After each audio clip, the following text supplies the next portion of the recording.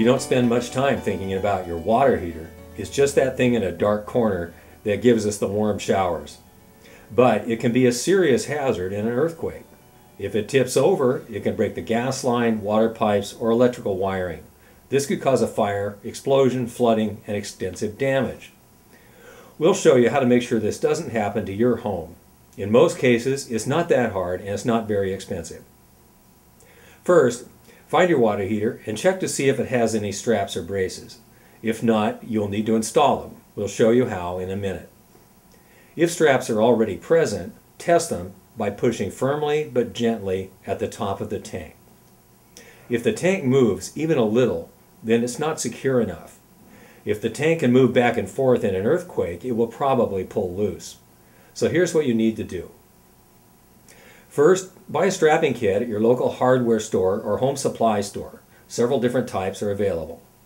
Look for a stamp of approval from the California State Architect. Most kits contain two straps. If your water heater is a 50 gallon model or larger, make sure the kit is intended for a tank that large. In some cases, you may need more than one kit. Before you start, be sure to read the instructions. If your water heater has an insulating blanket, take it off before you start. You can put it back when you're done.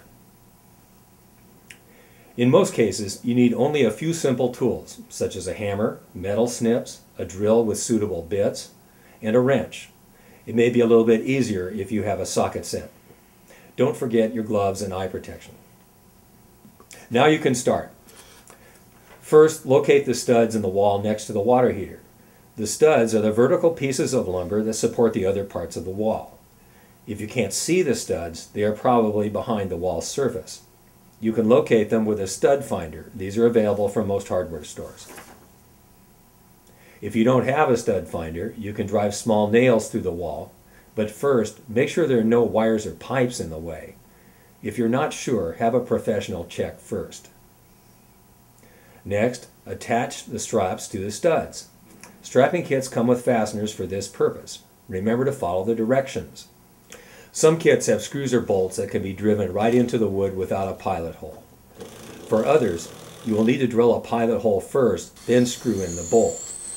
The pilot hole should be slightly smaller than the fastener. Make sure you are driving the screws into solid lumber. Don't put them in sheetrock trim, plaster, or other surface materials. These are not strong enough to hold the tank in a strong quake. Here's what happens when a water heater is fastened to something that is not structural.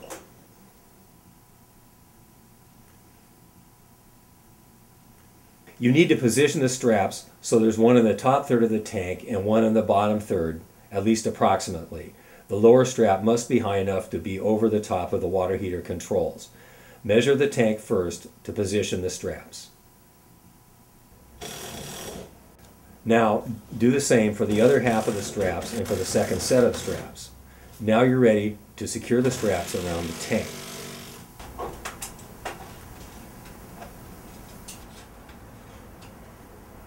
Now attach the two sides of the straps together with the hardware in the kit.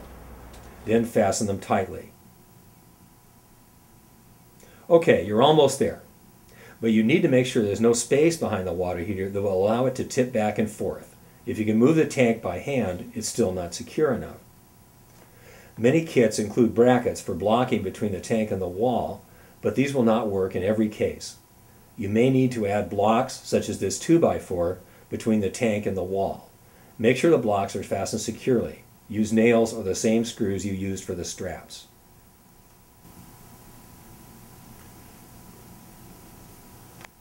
Finally, make sure the gas and water connections to the water heater are the flexible type. Rigid connectors are more likely to break. If your water heater has rigid pipes for water or gas, hire a qualified plumber to upgrade them. These simple steps work for many homes, both old and new. But if your water heater is not located near a wood framed wall, you may need to use different methods. More information is posted at our website, www.ggashi.org.